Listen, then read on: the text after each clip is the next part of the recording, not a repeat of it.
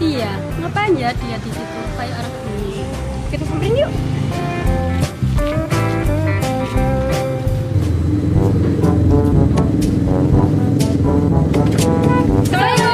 Waalaikumsalam. Kak Safira sama Kak Melati ngagetin aja. Lagian sih kamu ngelamun ya? ada apa sih kamu dek kok kayaknya lagi kebingungan Cerita aja deh, siapa tahu kita bisa bantu. nah iya Jadi gini kak, aku sekarang kan sudah kelas 9 Setelah ini aku lulus. Aku bingung mau sekolah di mana. Nah kamu pengennya sekolah yang kayak gimana? Aku pengen sekolah di SMK yang bagus dan berkualitas Kegiatannya banyak Dan yang pasti sekolah yang bisa mencetak siswa siap kerja. Sekolah di SMK IP 5 Sukodono aja. Sekolah ini mempunyai tujuan menjadi SMK yang berkualitas, unggul, berlandaskan INTAK dan ITEK, serta menghasilkan keamatan yang mampu mengembangkan sikap profesional dan berbudi pekerti luhur. Dan juga berakreditasi ALO.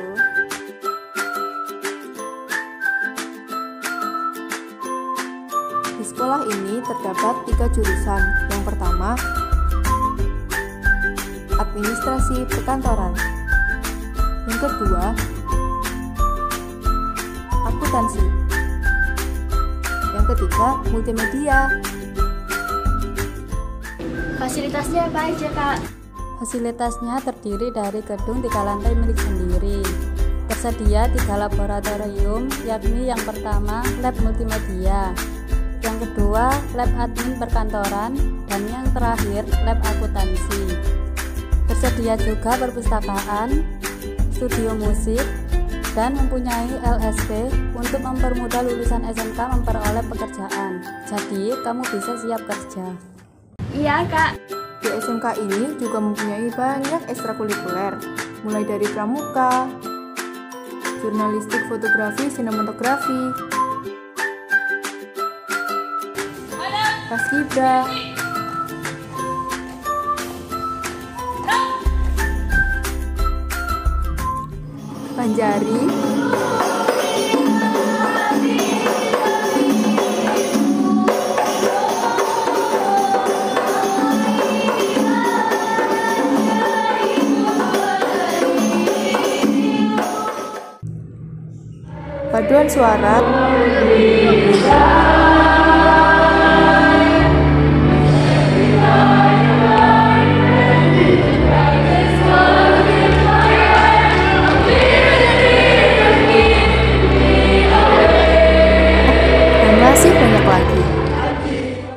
wah banyak juga ya kak Nah, iya.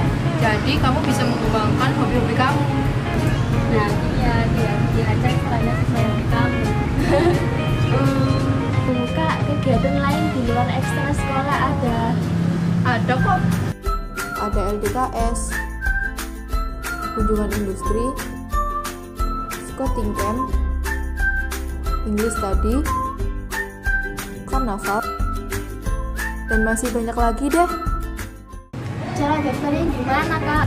Kamu langsung datang aja ke yang Mas Kodono di Jalan Raya Pengguna nomor 75 Kodono Gimana? Masih bingung? Enggak kak, saya mau langsung aja daftar di SMK IPN 5 Sukodono Yaudah kalau gitu kita pamit pulang ya. Yaudah, makasih ya kak sarannya Ya.